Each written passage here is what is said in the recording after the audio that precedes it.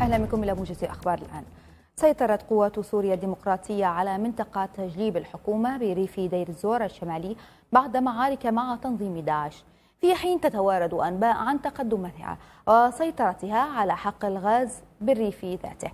وفي ذا سياق آخر قتل عشرون فردا من قوات النظام أثناء المعارك يوم أمس في منطقة حويجة ساكر وبلدتي مرات وخشام بريف دير الزور الشرقي بعد هجوم شنه أفراد داعش على مواقع قوات النظام. أعلن قائد عملية قادمون يا حويجة اليوم تحرير أحد عشر قرية في قضاء الحويجة بالعراق من احتلال تنظيم داعش الإرهابي. وكان القائد العام للقوات المسلحة حيدر العبادي قد أعلن في وقت سابق اليوم عن انطلاق المرحلة الأولى من عملية تحرير قضاء الحويجة التابع لمحافظة كركوك. قالت مصادر أمريكية مطلعة إن الرئيس الأمريكي دونالد ترامب يريد وضع مصير للاتفاق النووي مع إيران بيد الكونغرس لاتخاذ قرار بشأنه. قالت المصادر ومن بينها عضو كبير في إدارة الرئيس أن ترامب سيبلغ الكونغرس أن إيران لم تلتزم ببنود الاتفاق الموقع بينها وبين مجموعة الدول الست في عام 2015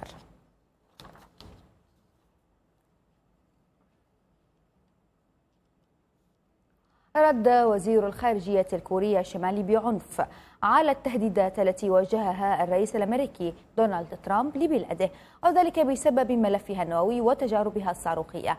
قائلا إن بيونغ يانغ لن يصيبها الرعب من تلك التهديدات.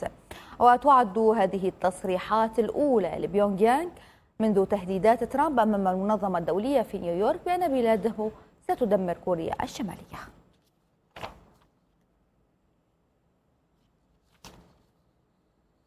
أعلنت البحرية الليبية أن أكثر من 100 مهاجر فقد أثرهم بعد غرق قاربهم قبالة سواحل مدينة سبرات الليبية. واستطاع خفر السواحل إنقاذ سبعة ناجين بعد أن بقوا في البحر لمدة ثلاثة أيام دون إغاثة وتعد مدينة سبراتة نقطة انطلاق المهاجرين إلى أوروبا. احتفلت كمبوديا بمهرجان الموتى. من خلال تقديم الطعام والصلاة على أرواح أفراد العائلة والأصدقاء الذين قضوا أو ماتوا. ففي معبد خارج العاصمة اجتمع المئات لمشاهدة سباقات الخيل والجاموس قبل الذهاب إلى المعبد لوضع الأرز في أطباق الرهبان ووضع أطباق مختلفة على الأرض ليأكلها, ليأكلها الرهبان بدورهم. وهذه الإجراءات يعتقد فيها الكمبوديين بأنها تصل إلى نفوس المتوفين. نهاية الموجز تحية وإلى اللقاء.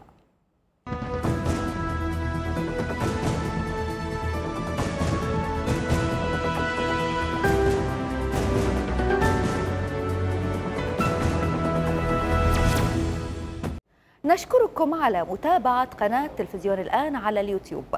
ليصلكم كل جديد قوموا بالضغط على زر اشتراك أو subscribe وإن عجبكم ذلك لا تترددوا أيضا بالضغط على مشاركة أو like.